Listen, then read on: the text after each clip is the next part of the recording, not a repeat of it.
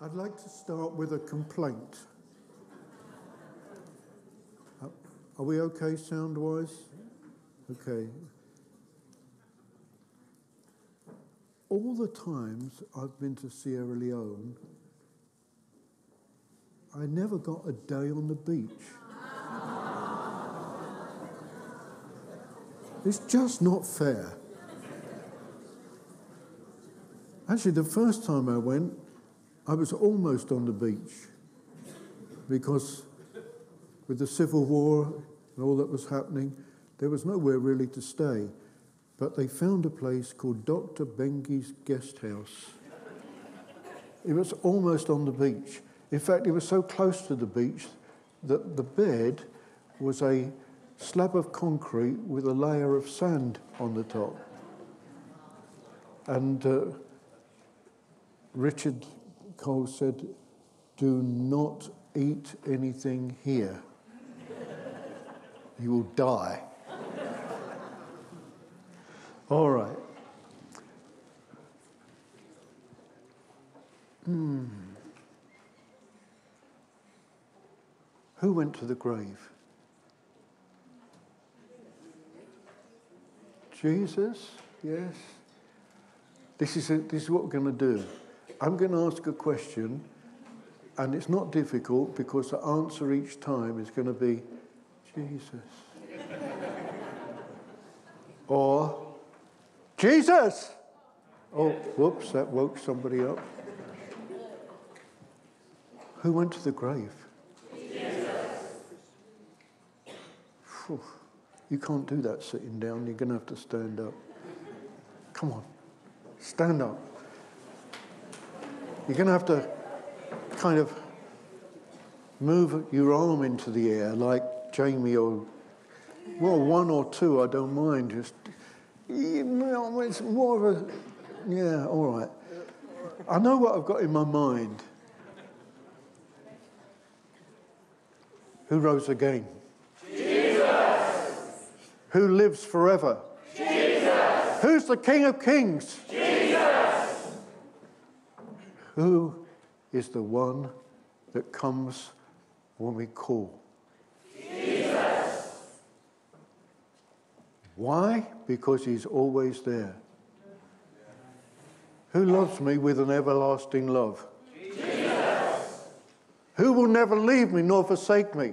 Jesus. Yeah, we're getting the hang of it now. Yeah. All right. Do, do have a seat. I want to talk about battle cry. What do you think the word might be? Gee. Thank you, Margaret. Just a little bit louder and they could all follow you.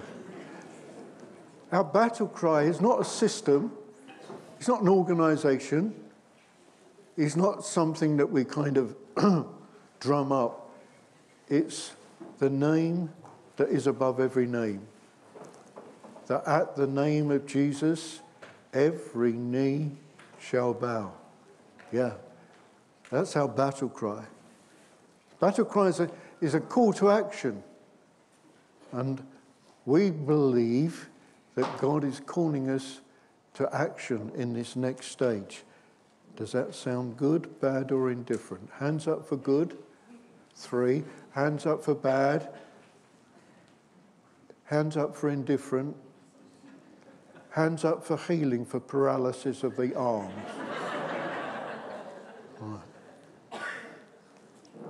God's calling us to action now. Yeah? Um, he's been preparing us with fresh sight of Him. He's been leading us to lay down our lives for one another.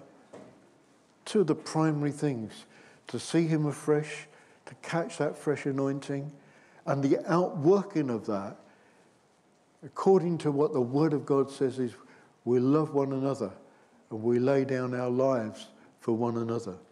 Absolutely key, wonderful, and total turnaround from being self first, last, and always.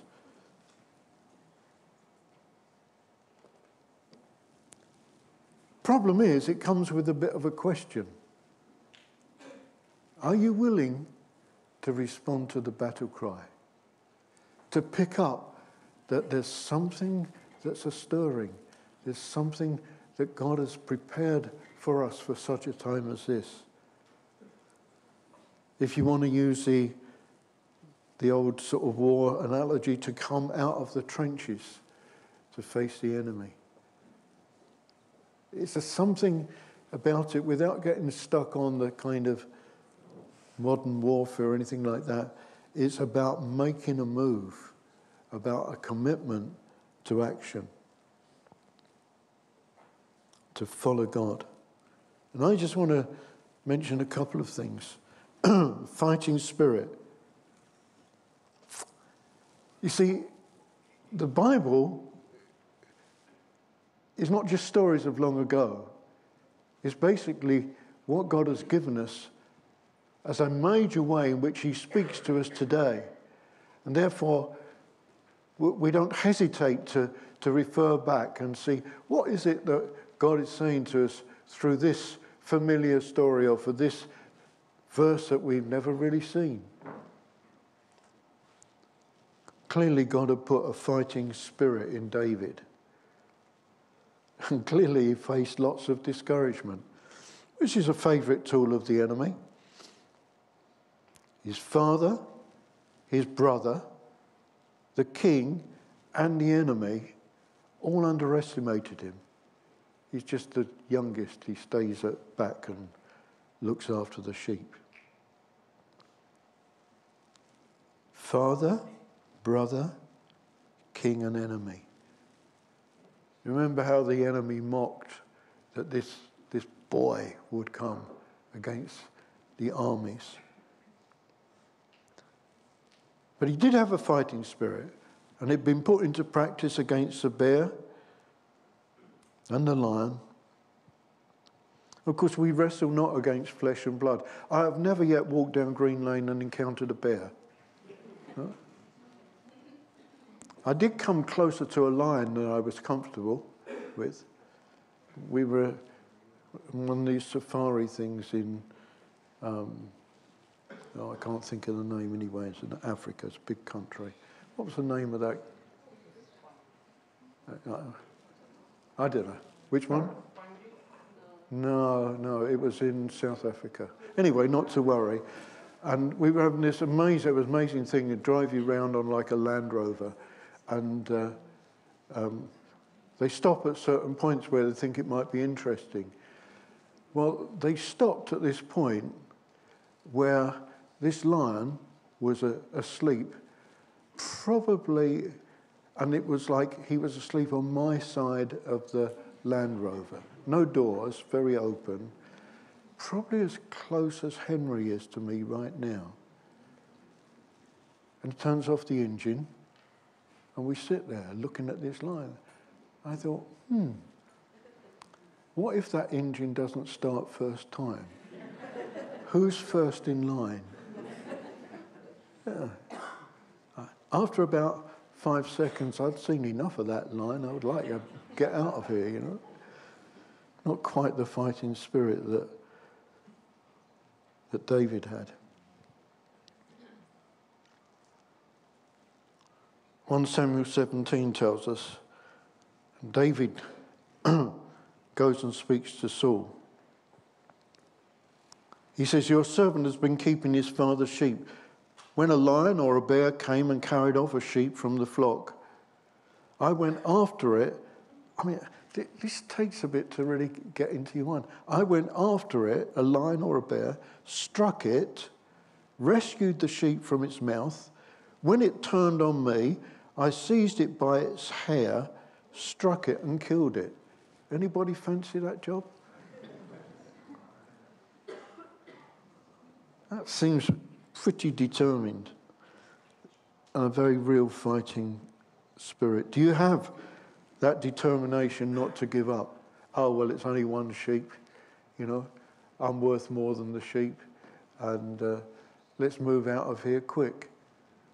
No. If God has said, I want us to be a people that are not willing to say, oh, well, never mind, another day. When God speaks, that's our opportunity to go and to move. So, have to have a fighting spirit. You need to be responsive, responsive to what God is saying. These are things which we're saying this is part of getting ready, part of responding to that sense of God's moment, God's time, God's season for us as a community. I like the response. It's very rapid. He doesn't sort of dwell on it. The Bible says that he gets up early in the morning. Okay, basically because he was being the errand boy. He was taking supplies to the, to the front or to where the army was for his brothers. That was about what he, you know, well, he can do this, he can be the errand boy. Gets up early to take supplies to the brothers. See, it doesn't really matter what the particular task or role is. What matters is our heart and attitude before God and our commitment to go His way and do what He says. I like the idea that he gets up early. It must have been early because he then got to the battlefield at the same time as the army was coming out. So he didn't waste time. You, when, when we hear God, it's good to, to just get on with it. Uh, otherwise, the birds of the air, the Bible talks about, can snatch away that seed. Once you've heard it, you get on and do it. You settle in your heart if God speaks. Basically, yes or no is decided pretty much there and then. I mean, God is very good, He confirms His word, but there's something inside that you just know. And it's best, once the decision is made, to proceed. Now, maybe you're, you know, a youngster, maybe you're, you know, not hardly in teens, and God says, I want you to, to go and reach people in, what's a good place to go? Sierra Leone. uh, well, you might not go right then, but in your heart you've decided it's settled. But that's kind of rather dramatic. God speaks, we decide to say yes once you've heard it, or otherwise you say no.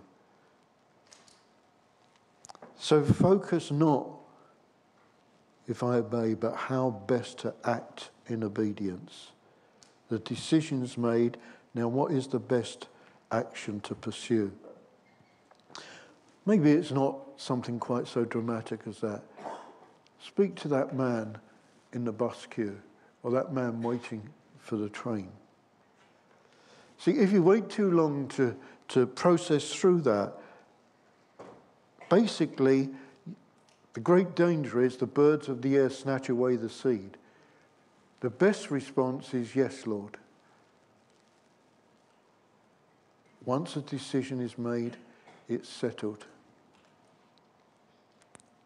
Yes, God in His faithfulness will give confirming words and directions. If you wait too long, kind of deliberating around it, if you will obey or not, then the danger again is it will be stolen something that the enemy sends, and Bible uses this, uh, this illustration of the birds of the air taking the seeds, but it can be many things like that.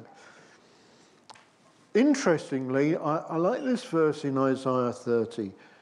Whether you turn to the right or to the left, your ears will hear a voice behind you saying, This is the way, walk in it. That's always intrigued me. If the voice is behind me, that means I'm already on the way. That as I go, as I step forth, and as I say yes or even no, basically, God wants us to do His will even more than we might ever want, and He enables that. And the, the first step of moving out, yes, often leads to another voice or the voice of God coming a second time. this is the way, this is it. It's like the confirmation sometimes follows more strongly after we have made that initial response. Our conf- confidence in, is in God's ability. Whether you turn to the right or the left, your ears will hear a voice directing. We heard of the prompts when Nick was talking to Dorena, how God even spoke in a dream. Any of you ever heard God in a dream? I can't see. Oh, a number of people. Okay. Mm. Yeah. So, what was David's motivator or motivation? It was God's glory and fame. It wasn't about David's promotion. It was all the things that would be given to somebody who killed the giant. That wasn't what he was after. It was God's glory and fame. In fact, he even turned down the offer to marry Saul's first daughter. What was it he said? I love these words. That the whole world will know that there is a God in Israel. Yeah? Anybody give me an amen? Yes to that. Yeah, yeah. I, am not frightened when you speak to me. I love it. Yeah? That the whole world will know that there is a God in Israel. Amen. amen. That's what we're about. That's what He gives to us. That's the, the joy of serving Him. But it does make you think what is the, what is the prize that you're seeking? What is the prize I'm seeking? If it deviates away from that the whole world might know that there's a God, if it deviates away from that God might be glorified, we're slightly on a more than a dodgy ground. We're probably moving with an inaccurate motivation. Then he was confident in God's ability. So we need the fighting, fighting spirit. We need to be responsive. We need a clear motivation. And then our confidence is in God's ability, not in mine. He wouldn't pretend to be someone else. He wouldn't put on Saul's armor. He was David, the shepherd boy. Strong confidence is based not on the weapons or the reward, but on a commitment to God to do what God says, what He wants. No one felt equipped to take on the challenge of Goliath. The whole army was, was stymied, basically couldn't move. But somebody heard God's word. See, the truth is, brothers and sisters, you don't have to be bigger than the problem you're facing. He's already bigger than the problem. I think, Alan, I think I got this from you. Yeah? While you're celebrating the birthdays and family gathered round you. I might be wrong, but many years ago, if I remember correctly, Alan said, Have you got a big God and a small problem? Or is it the other way around? You've got a big problem and a small God. Which way is it? Yeah, I, I think that's a very, a very important thing to ask ourselves. Is my problem, is my hesitation bigger than God? Or is it the other way around? Yeah? I think that's a very helpful thing to keep in mind. We take authority in the name of Jesus. Then we've got to be careful. We've got to be moving in thankfulness. That's an excellent way to move forward. I thank the Lord that He's called, that His voice we have heard. You think about Nehemiah, some pretty tough times in rebuilding the walls. But God's blessing was upon them, enabling them to even get that far. He was a leader with a vision, someone that was going somewhere. And the people were willing to get involved. Actually, Israel was released to action because of Nehemiah's vision. Time and time again, he will use a person in a situation for the extending of his kingdom. But there's something about fixing our sight on him and his word and what he wants. If you like, it's a single mindedness. And we have to beware that we aren't distracted. So when Sanballat and Tobias were trying to uh, divert him from the task, he didn't even bother to speak to them. He sent a messenger with this reply I'm carrying on a great project and cannot come down. Why should the work stop while I leave it and go down to you? There's a sense of a vision fixed on the purpose and on the calling of God. Whether we deem the task to be tiny or massive, we cannot afford to come down and engage with the distractors, the Sanballat and the Tobias. What's the result?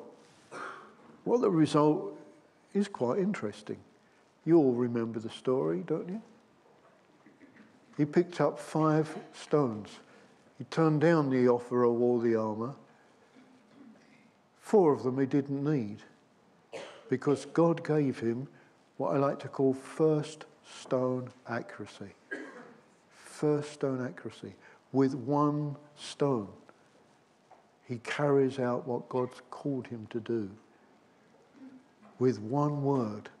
We, we can you know, get caught up in the, in the literal, but, but it's the first thing, the thing that God gave His word. That can be our first stone. It can be, it can be a, not, um, not, hello, you're a sinner going to hell but Jesus loves you. It can be, how are you doing today? Never spoken to him before. Just as God leads. First stone accuracy. Brothers and sisters, we've got to believe that we're working with God and He wants us to succeed in His role of extending the kingdom. Why shouldn't it be a simple word? here or there.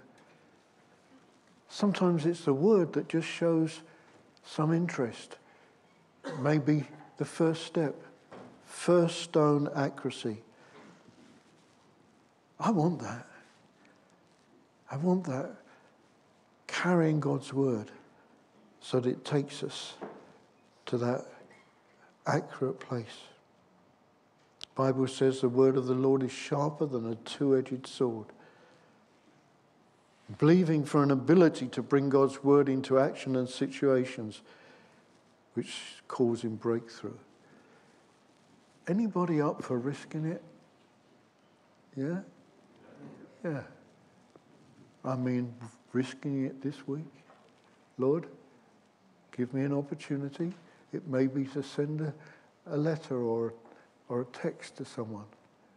Maybe you see somebody and you just feel, hmm, I think I need to, to speak to this person. I don't know what to say. Lord, what do I say? You take the first step and God gives you the next step. It's fun. It's frightening. But it ain't boring. Yeah? I mean, anybody up for a little bit of excitement? Come on. I noticed that was amongst the people that responded, nothing personal here, were the kind of more senior ones amongst us. I mean, perhaps until you get to a certain age, you've got enough excitement in life. Not in the kingdom of God, you ain't. See what He will do, see what He will give. Hmm. believing for an ability to bring something from God.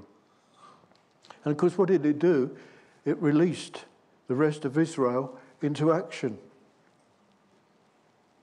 David's faithfulness in killing Goliath, Nehemiah's faith mobilized the demoralized people to do something absolutely incredible. Yeah, there may be times you step into the battlefield alone, but of course you're never alone. His faithfulness will release others. So here's my question before Jamie's going to come and share with us. Here's my question What is the battle cry we're hearing at the moment? I think I know, but I don't think I'm going to tell you just at this moment. What is the battle cry? Hmm.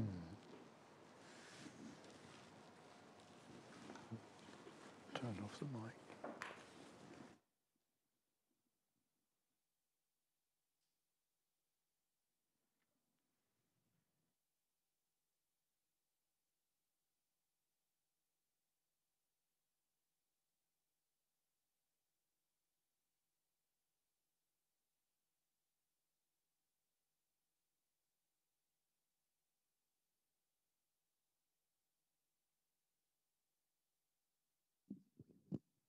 Okay, so the battle cry, what are we talking about? Well, there's a few pieces of the puzzle that I think are beginning to come together, um, but there's still, still more to come. But the sense that we have is that we're on the verge of something. Um, and I'm saying that because for a while we've been reflecting on this uh, picture that that Mark brought us a little while ago about a tsunami of uh, the, the water being pulled back, exposing the seabed, things that were hidden before being revealed. But it was always on the basis that God was allowing us to deal with some things because the tide was going to be coming back in, the blessing, the power of what He wants to do. And so we already had that on our minds. And then uh, the, the three guys from the AIM team that were with us over the last week.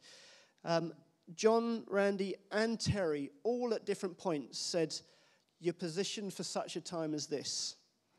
And God was about to do something, was about to do something significant, and there was also the warning that we could blow it. So the sense of being on the verge of something we don't want to miss. So I think there's a call for us at the moment to lift our heads and look what is it that he wants to do? Where is he going to take us? How do we respond to what he's saying to us right now. So um, I've been asking my question what, what is the great project? So Nehemiah talked about, I'm part of a great project, I can't come down.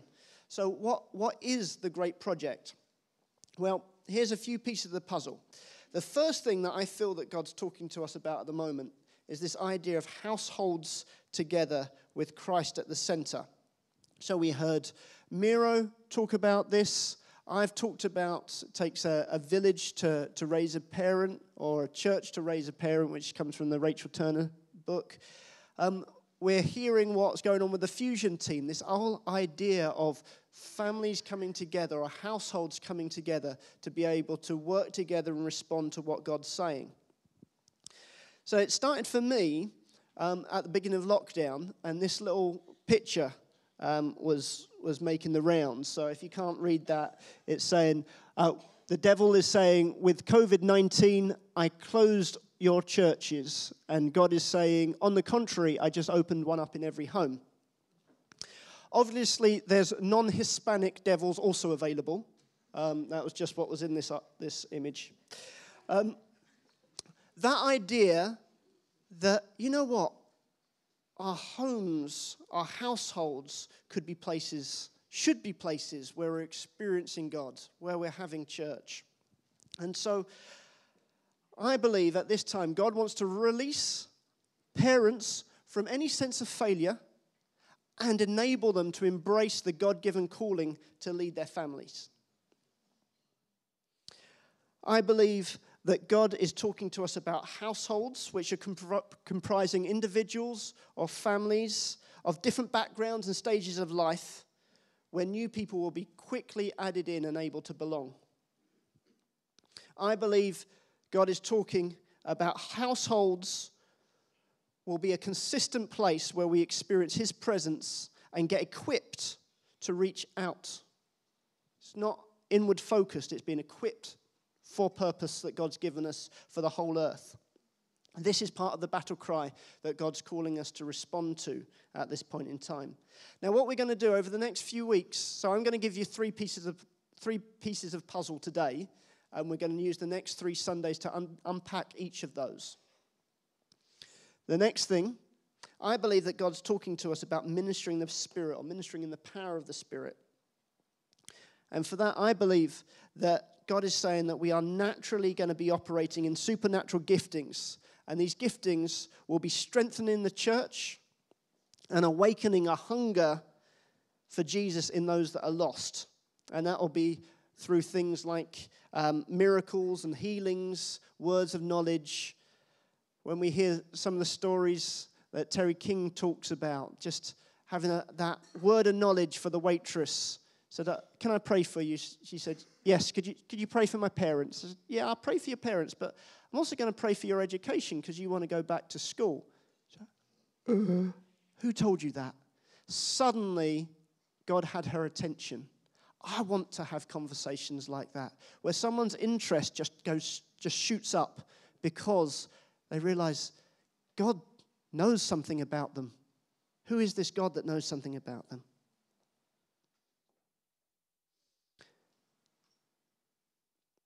I believe in a greater ministering of the Spirit, we will have a greater awareness of the presence of God and a willingness to submit to Him. We will know that He's with us wherever we are and that He's working in every human life. And we just want to just see what He's up to and get to be part of that. There will be a, a shortening time between when we hear God tell us to do something and when we actually say, Yes, Lord, I will do it.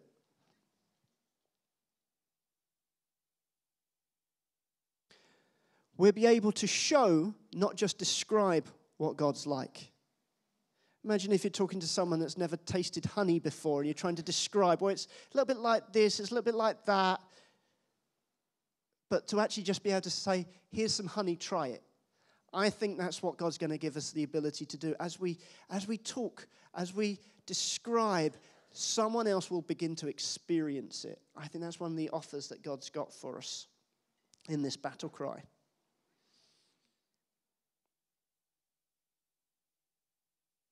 I believe the work of the Spirit helps us believe and reminds us of the things that, that Jesus has spoken, that we will have a greater ability to believe the promises that he gives us. We can quote so much, oh, yeah, God, God is my provider. But when you think, well, then why am I worried? I wouldn't be living with this level of anxiety if I actually believed that, but I can't make myself believe it. I make a choice to trust Him, but I need the Spirit that's within inside me to reach out of me and grab hold of what He's promised and pull it in. I can't get that in me other than the work of the Spirit. We will have a whole new level of security in who God's called us to be because of the, the promise that He has about the ministering of the Spirit. And we'll have a new authority from realizing that the Spirit within is breaking out. We've talked a lot about that, that idea that the Spirit will wear us like a glove. I'm His accessory, He's not mine. He will use me wherever I'm placed. That I, I'm excited that I take Jesus into my workplace. I take Jesus into my family. I take Jesus into Tesco with me because he's in me and He wants to reach out and touch lives around me, I get a front row seat on what God's about to do through me. And that is a great pleasure and a privilege. Another part of the great project, we will be sharper witnesses for Jesus. A phrase that I'm thinking about at the moment. We will have to explain the source of our power to remain relevant. Over the years, we've learned how to describe God and our walk with God, or, or more importantly, the effects of what we do. Oh, we, we, just, we just love people, we just care for people. But there's going to be a point where we can't just do that because that's not the question that's being asked of us. Why? What is your motivation? What is behind this? Why does it happen when you look out for someone that they change? Where it doesn't in other settings. We think it's going to happen with, with our profile with, within the community. There's going to be points where there's a question why do things happen within when you guys gather around people? It's not because of us, it's because there's a God that loves. Why do we include? Well, we think inclusion's a good principle and a, a good value. No, we include because Jesus left heaven, became excluded, so that he could die for us, join us to the family of God, so that God could now count us as his own. That's my motivation. I'm going to have to explain that in order to remain relevant. Whew. You know, the biggest obstacle to this is going to be us being willing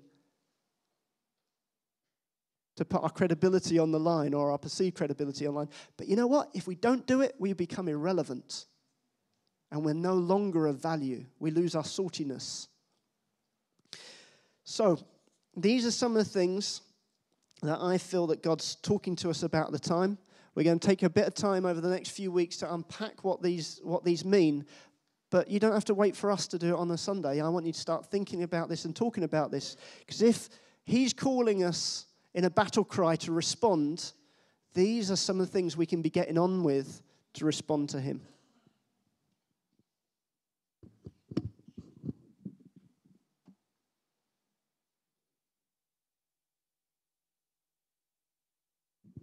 Okay, I'll do this one. So, response. How are we going to respond? The battle cry is going out. Are you going to make a choice to respond? What does that mean to respond? Say, Yes, God. Now, how the heck am I going to do it? John took us through a whole bunch of must haves, six must haves. Truth is, you can't generate those must haves in your life. You can't try really hard in all those things. We're looking for the Spirit of God to work in us, to produce those things in us. All we've got to be saying, I'm going to follow you wherever you go. I don't need to know how it's going to work out. I will just be obedient. So we're coming to the end now. Keep talking about those things. But maybe you're here today and you've never made this decision to respond to God and you want to make that choice. There'll be people at the front over here that will be willing to and keen to pray with you. We believe that God wants to touch every human heart, that God has a purpose for your life. Maybe you've never known that. We'd like to pray with you about that. Uh, if there's any other things of healing uh, that you'd like people to stand with you in prayer, we'll have the opportunity to do that as well.